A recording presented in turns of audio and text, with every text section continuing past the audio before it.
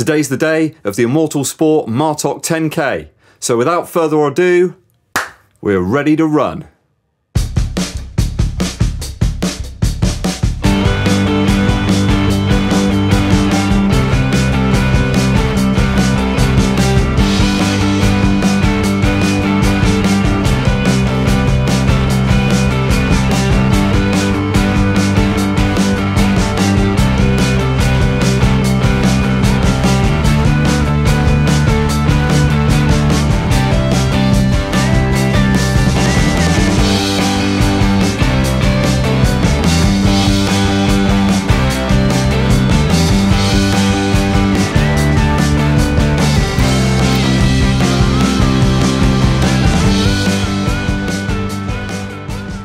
Hi viewers, so I'm back from the Martock 10K. This is a race organised by Immortal Sport and is run on the road surrounding Martock in Somerset. The race is close to a figure eight style route and takes in some light elevation along with some quite long straights. There's a few nice downhill sections as well, so this is one certainly favoured by those seeking personal best. So I got up on the day around about 7am and took in a light breakfast.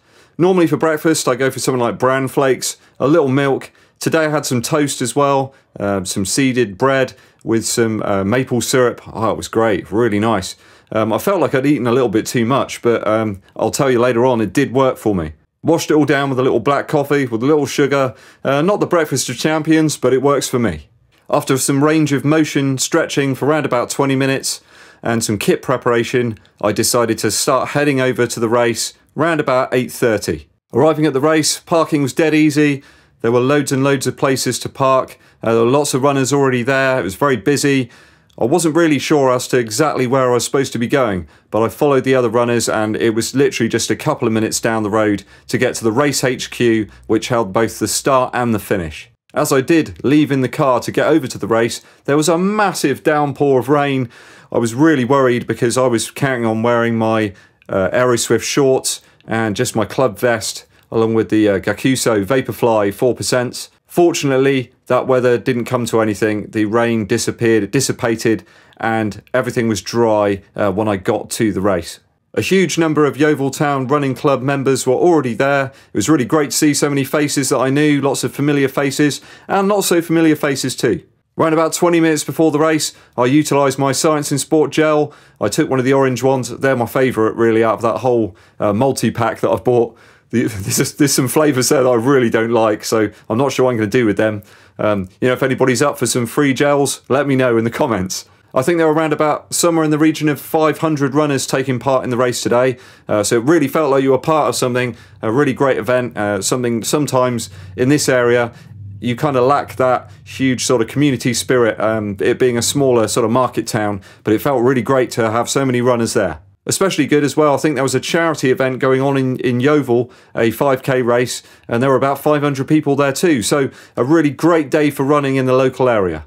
So after a quick rendition of Happy Birthday for Laura Costigan, who uh, I believe was taking part in the race as well, uh, the race kicked off at 9.30 on the dot. So I was really up for going for a PB today. I consciously started off at a more reserved pace of around about 4 minutes 15 per kilometre. So the first couple of kilometres saw the typical jostling for places and everything kind of evened out and settled down around about three kilometres. Just after that, when I encountered some of the hills, I call them, some, some people found the hills really bad today uh, when I was talking to them after the race, but I didn't really feel like that at all. The hills didn't feel too bad. I don't know whether that's just some good training I've been doing, but I felt I had good power, managed to move up the hills, kept it consistent, and even managed to overtake a few people, uh, which filled me with a bit of confidence. So when I reached the five kilometre mark, I looked at my watch and realised I had a really good chance of reaching a personal best for the 10k distance. I'll throw this split time for 5k up on the screen for you here. I can't remember what it was offhand, but I really felt quietly confident for my position and also how I kind of felt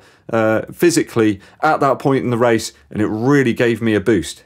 So progressing on around about four miles, I felt really, really good at that point. I pushed on at 6 minutes 40 per mile pace, and I found the straight nature of the course really helpful. There was some really, really beautiful scenery to take in on this race, guys. I found myself looking around. It really put me at ease. Yeah, I'm a country boy. I like my space. I like my peace of mind. It was really nice to look around and just see some really nice countryside. Kind of took my mind off the fact that I was doing a race.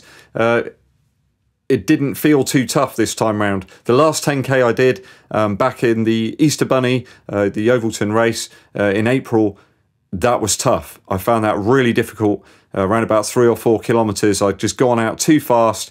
I couldn't take in any of the surroundings. This time round, it was a totally different story. So towards the very end of the race, there was a very sharp kind of dogleg turn, which put me around a corner. And two runners decided they were going to try and push past me at that stage and overtake me but I was having none of that. So I accelerated up through the finish line at 4 minutes 30 per mile pace. So now I know just for a few seconds how it feels to be Eliud Kipchoge. I hadn't come all this way with all the training that I've been doing to be pipped at the post like that by a couple of people on the last turn.